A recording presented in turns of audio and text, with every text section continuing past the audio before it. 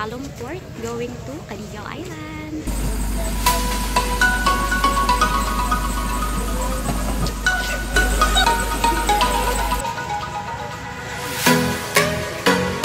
Tickets secured.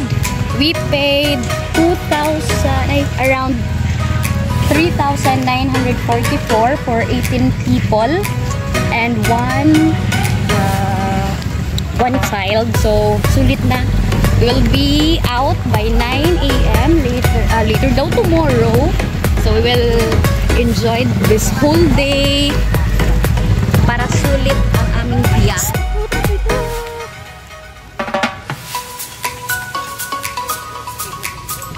Oy, mga guys, tanaw. Mga no.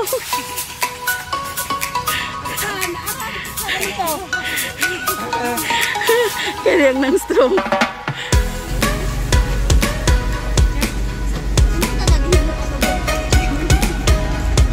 Say, brum brum na